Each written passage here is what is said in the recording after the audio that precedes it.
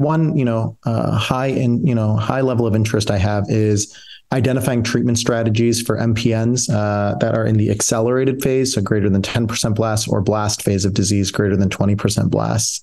Historically, uh, with standard treatment approaches, uh, unfortunately, uh, overall survival has been quite limited. Uh, so, months uh, is what's been seen in the literature. And since 2017, there have been a number of uh, new agents that have been approved for acute myeloid leukemia uh, by the FDA. However, we have very limited data about how these agents perform uh, when uh, applied to, to use in accelerated and blast phase MPNs. So these could be uh, intensive chemotherapy. This could be HMA venetoclax. Uh, this could be HMA plus JAK inhibitor. And you know, when you uh, when kind of looking at these treatment approaches, uh, what we have found. Uh, so I was able to present uh, some data at ASH this past year.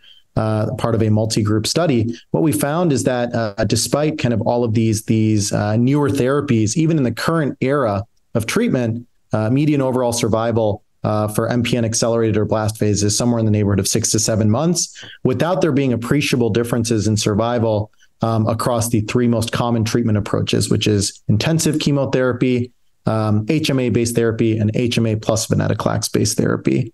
Now, risk factors for progression uh, uh, typically focus around the acquisition of high risk mutations. And when you look at the mutational profile of accelerated and blast phase MPNs versus um, AML, uh, it's actually a very different mutational landscape. So when thinking about uh, accelerated and blast phase MPNs, we see uh, enrichment in mutations for ASXL1. We see enrichment in mutations for TP53, and we see uh, enrichment in mutations for IDH1 and IDH2.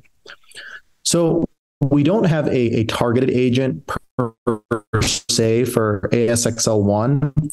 However, you know, use of the LSD1 inhibitor, bomedemstat, and early phase studies in, in essential thrombocytosis uh, and myelofibrosis uh, demonstrated that there, there may be uh, increased efficacy in those with ASXL1 mutation. So, so perhaps we can think about whether LSD1 inhibition has some role uh, specifically for ASXL1 mutated accelerated blast phase MPNs.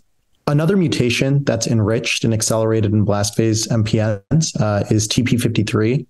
And thinking about treatment strategies, um, we should look towards the the sorts of studies that are being run in uh, MDS and AML, uh, looking at drugs uh, that have specifically been uh, investigated in the TP53 mutant population, uh, one example would be the CD47 antibody magrolimab, which is currently being investigated in a phase three study uh, for TP53 mutated AML.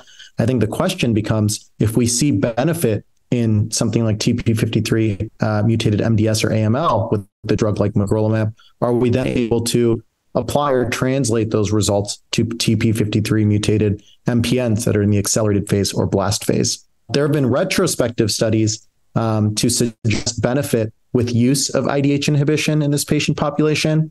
And this past ASH, there was a prospective study um, looking at the combination of ruxolitinib with enasidenib um, in IDH2 mutated uh, accelerated and blast phase MPNs that had very promising early results, albeit only five patients that were analyzed.